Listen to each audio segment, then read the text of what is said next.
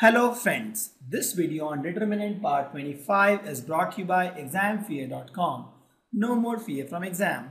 Before watching this video, please make sure that you have watched part 1 to part 24. Now let's introduce a new topic called singular matrix. A square matrix is called singular matrix if the determinant is 0. Please note,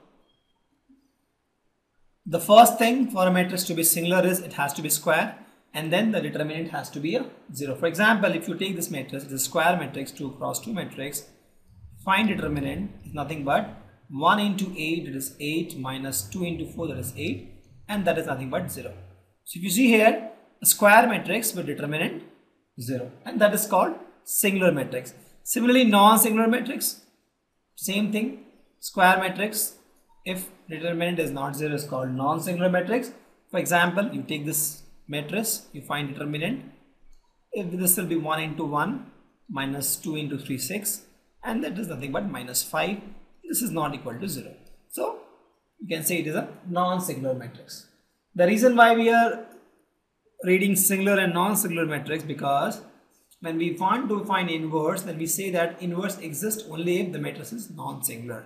For singular matrix where determinant is 0 the inverse doesn't exist so that is one reason why we are studying singular and non-singular matrix so that we'll have a mathematical term for this and we can talk in the terms of mathematics. We can say singular matrix then we can say okay yeah determinant is 0 because see you say determinant is not equal to 0 and you say non-singular matrix.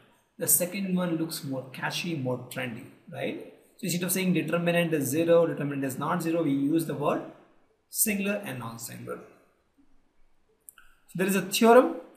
The theorem says A and B are non-singular matrices of same order. Then AB and BA are also non-singular matrices of same order. Correct? If A and B are non-singular matrices, then AB or BA are also non-singular matrices of same order. For example, if you see, I have this uh, two matrices 2 4 3 2 and 1 3 minus 2 phi.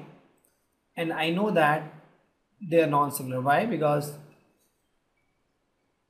you find uh, determinant of A that comes out to be 2, 2 into 2 4 4 minus 3 4 minus 12 2 into 2 4 minus 4 into 3 12 that is minus 8 similar determinant of B comes out to be 1 into 5 is 5 minus 2 into 3 minus minus 2 into 3 is minus 6 and that is 11 so both are non-zero so they both are non-singular. Now they are saying AB and BA are also non-singular so first I have to find AB so AB is nothing but you have 2 4 3 2 you multiply this guy with 1 3 minus 2 and 5 once you multiply what you get is take this row take this column. 2 into 1 is 2 and 4 into minus 2 is 8 so that is 2 minus 8 2 into 3 is 6 and 4 into 5 is 20 6 plus 20 take this row. 3 into 1 is 3 and minus 2 into 2 is minus 4 3 minus 4 3 into 3 is 9 and 5 into 2 is 10 9 plus 10 so this becomes minus 6 minus 1 26 and 90 if I want to find determinant of AB I can see that this is nothing but 6 into mm, minus 6 into 19 is minus 114 and 26 into minus 1 is minus 26 so minus minus 26 this comes out to be minus 88 and that is non-zero. So you can see that AB is also non-singular similarly you can find BA if you want to find BA if you want to find BA BA is nothing but you take B first that is 1 3 minus 2 and 5 you multiply this guy with A 2 4 3 2 2 4 3 2 correct? Same thing you do. Row here column here.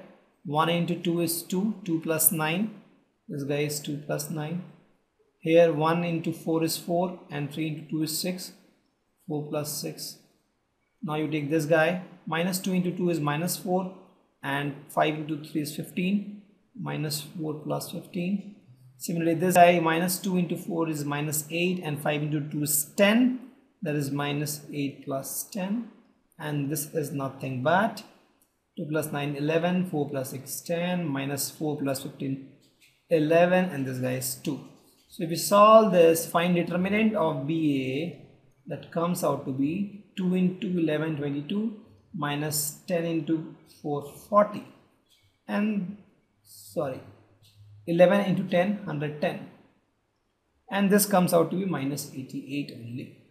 So if you see this is also non-zero. So I proved that if A and B are non-singular then AB and BA matrix are also non-singular just there is a similar theorem in the matrix. Just I wanted you guys not to get confused so let me introduce this theorem which you have already learned in the matrix. In the matrix if you see if A and B are non-zero matrix of same order then AB and BA can be a zero matrix. Correct? So if A and B are non-zero matrices then AB and BA can be a zero matrix. But if AB are non-singular matrix then AB and BA are also non-singular matrix Please note why we are having this confusion is the moment I am talking about non-singular matrix that means I am talking about determinant of A, determinant of B. Since determinant of A and B are all real numbers sometimes, right? So I'm saying that this product is non-zero, that means this is also not zero, this is also not zero. Because I'm not talking in terms of matrix form because it's all determinant I'm talking about. So this holds true. That is AB if AB is not 0, that means either A is also not 0 and B is also not 0. But in the term, in the world of matrix, when I'm saying A, B are non-zero matrix, when I'm saying A and B or B and A can be a zero matrix. Why? Because we have seen example where A and B are non-zero, but the actual multiplication of A and B comes out to be a zero matrix. For example, in this case, you find AB, let's suppose. You find AB, you get what? 0 minus 1 0 2 3 5 0 0 this comes out to you take row first column this side. 0 into 3 is 0 minus 1 into 0 0 again 0 into 5 is 0 minus 1 into 0 0 now you take this row. 0 into 3 0 2 into 0 0 0 into 5 0 and 2 into 0 0 all are 0 so what we have seen two non-zero matrix if you find the product it can be a zero matrix but the moment I'm talking about non-singular matrix, it is not possible. Why? Because a matrix is non-singular if the determinant is non-zero. Non-singular matrix is non, the determinant is not zero. That's what I'm saying. They are, here also this holds true. If you see this guy, 0 minus 0. So this guy is a singular matrix. This guy is also singular matrix. And this guy is also a singular matrix. Singular matrix into singular matrix is equal to a singular matrix. Why? Because when we are saying singular matrix into singular matrix, I am saying determinant of A into determinant of B. That means we are not multiplying two matrices. We are multiplying determinant of two matrices. And determinant of two matrices is nothing but a real or complex number that is linked to a matrix.